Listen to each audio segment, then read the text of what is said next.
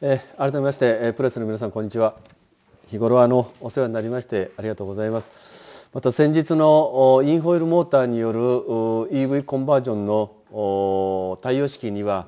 大勢の皆さんがお越しくださいまして本当に嬉しかったですし感謝申し上げます。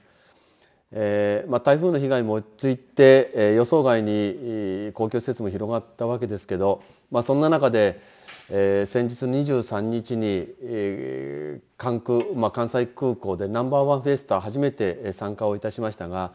当たり前のことですけれどもどこの自治体も本当によく頑張っておられるなということを改めて感じましたし、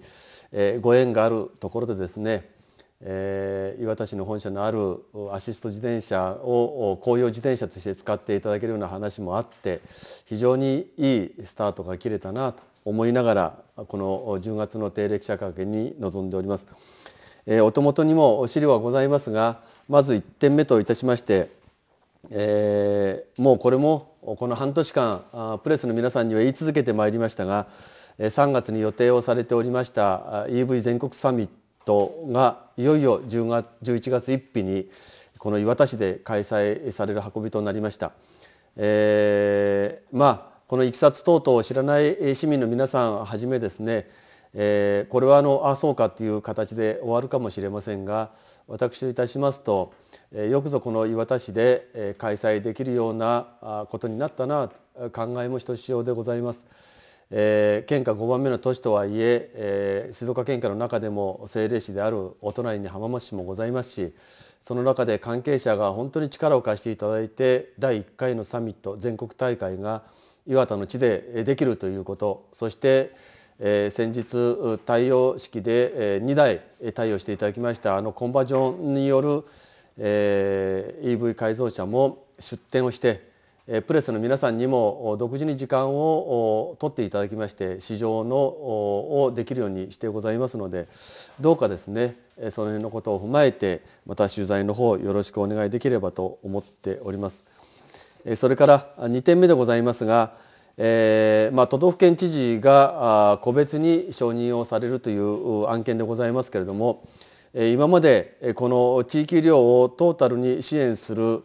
えー、地域医療支援病院という名称をいただいている病院は西部の中でも浜松市にある5病院でございましたが中東園で初めて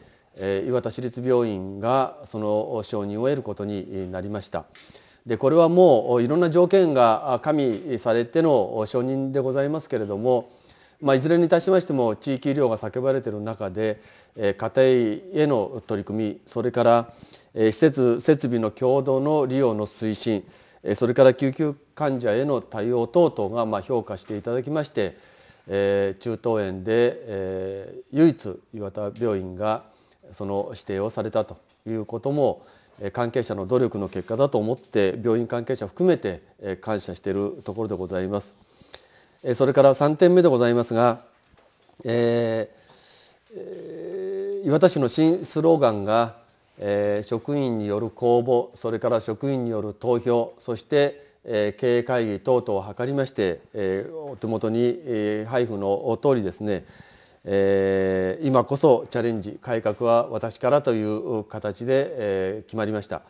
え市民第一現場第一行動第一というのは基本的な私の行政運営をする上での理念でございますけれどももう一方の柱である1年の姿勢方針思いをですね職員から募り決定をしたことを報告させていただきます。あのリーマンショック以降特に時代が大きく変わりまして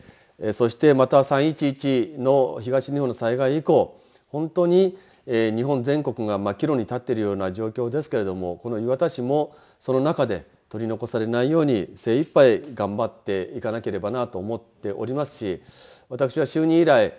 改革は市役所からって申し上げてきましたのでその中の改革は市役所からの中の